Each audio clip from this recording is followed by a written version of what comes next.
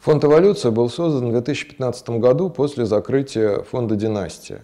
Фонд «Династия», который финансировался Дмитрием Борисовичем Зиминым, поддерживал много замечательных э, научно-популярных проектов, но, к сожалению, значит, он прекратил свое существование, после чего э, группа энтузиастов решила, что нельзя этого так оставлять, и был создан фонд «Эволюция». «Эволюция» занимается поддержкой э, просветительских проектов, эм, школьного образования, издания научно-популярных книжек.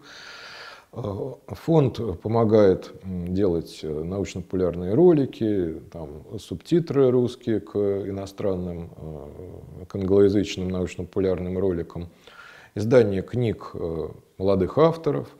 А вот в частности, при поддержке фонда запущена такая замечательная серия научно-популярных книг, которая называется «Примус». Там выходят первые научно-популярные книги новых молодых талантливых авторов.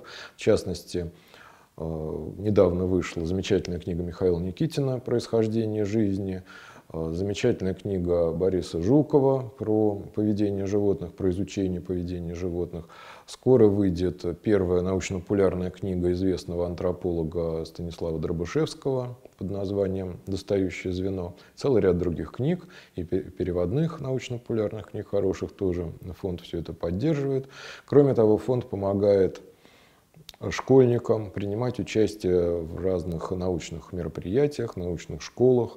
А, были школы по лингвистике, по молекулярной биологии, по эмбриологии морских беспозвоночных. Кроме того, фонд «Эволюция» помогает в работе комиссии Российской Академии Наук по борьбе с лженаукой и фальсификацией научных данных а, в выпуске вот этих меморандумов, которые выпускает э, эта комиссия. Фонд участвовал в мероприятиях там, по разоблачению дерматоглифики, гомеопатии и так далее. А, мы планируем продолжать эту деятельность. В отличие от фонда «Династия», который финансировался Дмитрием Борисовичем Зиминым, у фонда «Эволюция» своих денег как бы нет, поэтому мы собираем средства путем краудфандинга, что, в общем-то, наверное, даже хорошо, потому что это такая демократическая система, а, при помощи которой мы обращаемся, собственно, к людям, ради которых все это делается. Если вы считаете, что эта деятельность не нужна, вы просто не даете деньги, и, соответственно, не будет делаться каких-то лишних телодвижений. А те, кто считает, что это нужно, им лично и нашему обществу в целом вы можете поддержать фонд, э, пожертвовав какую-то сумму на вот эти программы.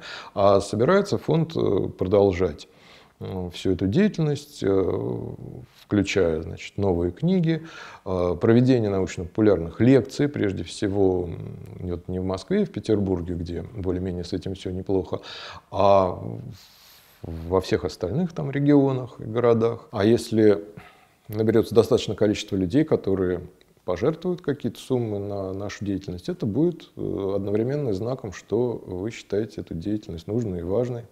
Вот такая демократическая система.